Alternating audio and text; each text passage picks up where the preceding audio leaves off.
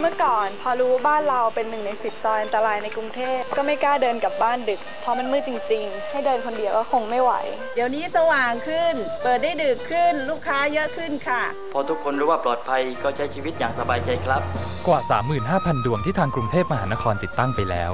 วันนี้เรายังเร่งดำเนินการต่อไป เพื่อความสว่างสวัยในซอยของทุกๆ คน เมืองสว่างทุกครอบครัวปลอดภัย เพราะพวกเราร่วมใจดูแลกันและกันนะครับ